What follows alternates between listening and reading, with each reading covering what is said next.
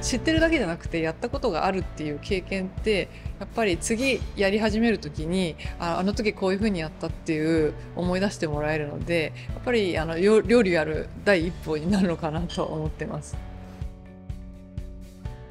今日はあの本当に自分に必要な量をあの、まあ、計算したりとか体組成に合わせてあの算出してそれを実際食べてもらったんですけれども実際にいつも食べてる量と本当に自分が必要な量ってどれぐらい違うのかいつもと同じなのか違うのかっていうところを体感してもらって実はあの自分が思ってたよりも多い量を食べなくちゃいけないということを、まあ、今回の選手たちはあの理解していただいてそれを実際食べると、まあ、こんなに食べなくちゃいけないんだっていう反応であの理解が深まったのかなと思います。甘いと思うんですよ多分今甘いよね。でこれ煮詰まると塩味がすごいぐっと入ってくるんだけどもうちょっとそれがあってもいいかもしれないちょっと触ってみて。切ってもいいんだけど。ボコボコしちゃうんです、うん、これを取った全部入れて汚ねやどう？味の量多すぎない？めちゃくちゃうまい。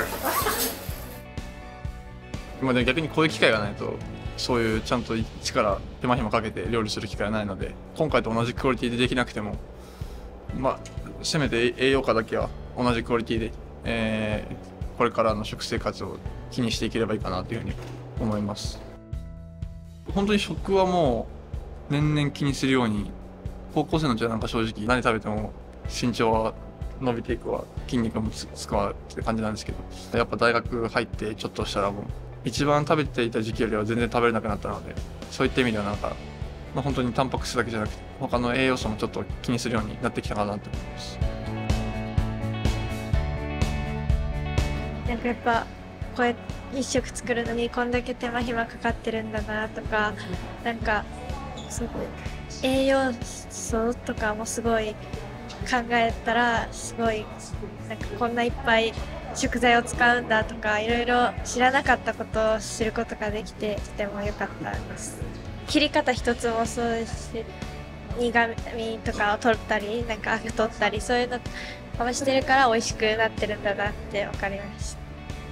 まあ、向こうに行ったら日本食が美味しくなると思うので自分で作れるようにしたい。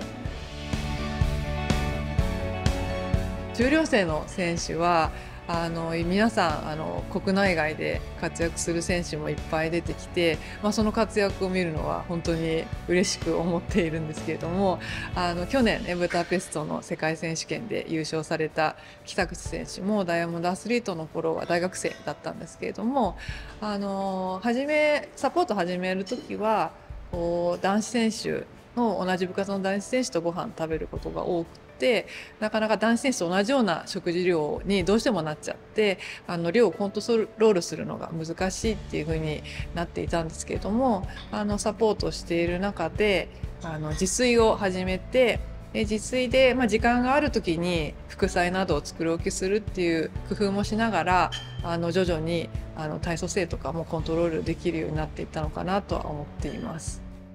とても数知れない努力をされてきたと思うんですけれども、まあ、その一つの要因で食事の大切さっていうのをあの感じていただけると本当嬉しいなとは思います。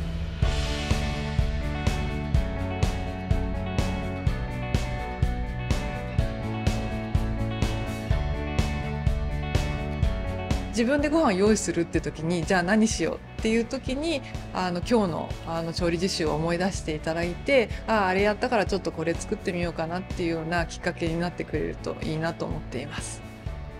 世界に羽ばたくアスリートが多く輩出していますので今あの現役のダイヤモンドアスリートはっぱりまだ心身ともに成長過程の選手も多いのであのとても可能性を秘めた選手が多いと思っています。でダイヤモンドアスリートのプログラムは栄養サポート以外にもいろいろなプログラムがあるのでそのプログラムを通じてあの人としても成長していってあの世界であの活躍する選手になっていただきたいなと思っています。